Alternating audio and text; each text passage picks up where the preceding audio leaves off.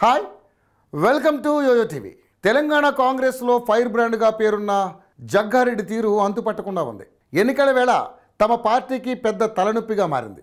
చేరికలు వ్యూహాలతో బిజీగా ఉన్న హస్తం నేతలు జగ్గారెడ్డి ప్రవర్తన వస్తే సైలెంట్ అవుతున్నారనే టాక్ వినిపిస్తోంది. అంతేకాకుండా ఆయన బీఆర్ఎస్లో చేరుతున్నట్లుగా ప్రచారం సాగుతోంది. ఆ పార్టీ నేతలేమో జగ్గారెడ్డిని చేర్చుకోవద్దు అంటూ అధిష్టానానికి చెప్పడం విశేషం. కానీ జగ్గారెడ్డి మాత్రం మౌనం పాటిస్తున్నారు. ఈ నేపథ్యంలో జగ్గారెడ్డి పార్టీ మారతారా? రాజకీయ ఎత్తుగడలో భాగంగా ఇలా చేస్తున్నారా? అనే విషయాలను యోయోవిలో తెలుసుకుందాం.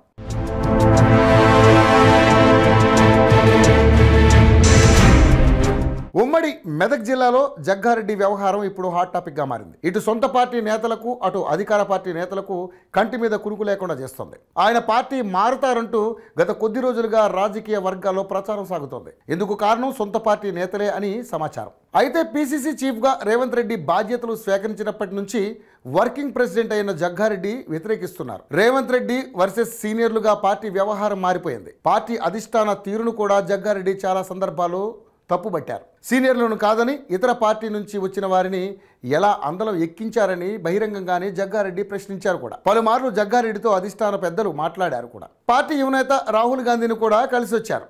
ఆ తర్వాత తన పని తాను చేసుకుంటూ వెళ్తానని చెప్పిన జగ్గారెడ్డి కొద్ది రోజులకే మళ్ళీ రేవంత్తో వైరం పెట్టుకున్నారు.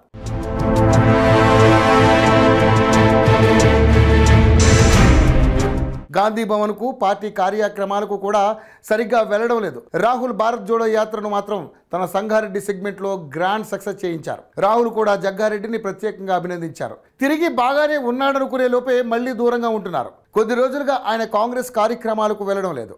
అసెంబ్లీ సమావేశాల సందర్భంగా మంత్రి కేటీఆర్ జగ్గారెడ్డిని పలకరించడం రాజకీయ వర్గాల్లో పెద్ద చర్చకు దారితీశాయి. జగ్గారెడ్డి బీఆర్ఎస్ పార్టీలో చేరుతున్నట్లుగా ప్రచారం మళ్ళీ ఊపందుకుంది. అధికార పార్టీలోని ముఖ్య నాయకులు కూడా అవును చేరే అవకాశాలు ఉన్నాయని చెప్పుకుంటున్నారు. ఈ నెల పంతొమ్మిదిన మెదక్లో సీఎం పర్యటన నిర్ణయించగా వర్షాలు పడే అవకాశాలు ఉన్నాయని ఇరవై మూడవ తేదీకి వాయిదా వేశారు. అయితే సీఎం సభలోనైనా లేదా సభకు ముందే జగ్గారెడ్డి బీఆర్ఎస్లో చేరనున్నట్లుగా తెలుస్తోంది. రేవంత్ రెడ్డి కింద తాను పనిచేయలేనని జగ్గారెడ్డి సన్నిహితుల వద్ద చెబుతున్నట్లుగా సమాచారం. సీనియర్లకు కనీస విలువ ఇవ్వకుండా తన ఇష్టం వచ్చినట్లుగా పనిచేస్తున్న రేవంత్తో కాంగ్రెస్ పార్టీ నాశనం అవుతుందని కూడా ఆయన పలు సందర్భాల్లో ఆవేదన వ్యక్తం చేశారు.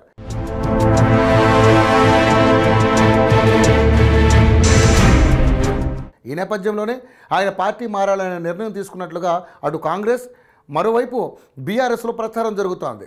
ఈ ప్రచారాలను జగ్గారెడ్డి మాత్రం పట్టించుకోవడం లేదు ఖండించడం లేదు. అయితే గతంలో కూడా జగ్గారెడ్డి బీఆర్ఎస్లో చేరుతున్నట్లుగా ప్రచారం జరిగింది. ఆయన మాత్రం అలాంటి వార్తలను పట్టించుకోకుండా కాంగ్రెస్లోనే కొనసాగుతూ వచ్చారు. ఈసారి పార్టీ మారతారా? రాజకీయ వ్యూహంలో భాగంగా కేవలం ప్రచారం కోసం ఇలా చేస్తున్నారా అని చూడాల్సి ఉందని ఆయన సన్నిహితులు కూడా కొందరు చెబుతున్నారు. మరికొందరేమో చేరడం ఎప్పుడో ఖాయమైందని ఏ రోజు చేరతారో అనేది మాత్రమే సస్పెన్స్ అని చెప్పుకొస్తున్నారు. ఇప్పుడున్న పరిస్థితుల్లో జగ్గారెడ్డి కాంగ్రెస్లో ఇమడలేకపోతున్నారని అదే సమయంలో బీఆర్ఎస్ నుంచి ఆహ్వానం అందడంతో ఆయన ఆ పార్టీలో చేరడానికి సిద్ధమైనట్లుగా ప్రచారం జరుగుతుంది. ప్రచారం ఎంత జరుగుతున్నా ఆయన మాత్రం మౌన నిద్రలోనే ఉంటున్నారు. దీంతో సంగారెడ్డి సెగ్మెంట్లో కాంగ్రెస్ క్యాడర్ అయోమయంలో పడిపోయింది. పార్టీకి ఇక్కడ మరో పెద్ద దిక్కు లేకపోవడమే ఇందుకు కారణంగా చెప్పుకోవచ్చు.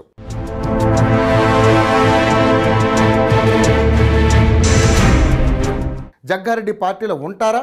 బీఆర్ఎస్లో చేరతారా? అని పార్టీ లీడర్లను అడుగుతున్నారు. ఇదిలా ఉండగా జగ్గారెడ్డి బీఆర్ఎస్లో చేరుతున్నట్లుగా జరుగుతున్న ప్రచారంతో ఆ పార్టీ క్యాడర్ అలర్ట్ అయింది. బీఆర్ఎస్ పార్టీ ముఖ్య నాయకులు జగ్గారెడ్డి చేరికను వ్యతిరేకిస్తున్నారు. ఆయనను చేర్చుకోవద్దని మంత్రి హరీష్ రావుకు పలుమార్లు మొరపెట్టుకున్నారు. ఈ విషయంలో మంత్రి కూడా మౌనంగానే ఉంటున్నారు. జగ్గారెడ్డి చేరిక విషయంలో తనకు సమాచారం లేదని చెప్పి పంపిస్తున్నారు. జగ్గారెడ్డి పార్టీ మారుతున్నట్లు జరుగుతున్న ప్రచారం అటు కాంగ్రెస్లో మరోవైపు బీఆర్ఎస్లో పెద్ద కుంపటి పెట్టిందని చెప్పాలి. మరి నిజంగానే జగ్గారెడ్డి పార్టీ మారతారా లేక పొలిటికల్ స్టంట్ కోసం చేస్తున్నారా అనేది తెలియాలంటే ఈ నెల ఇరవై మూడు వరకు ఆగాల్సిందే.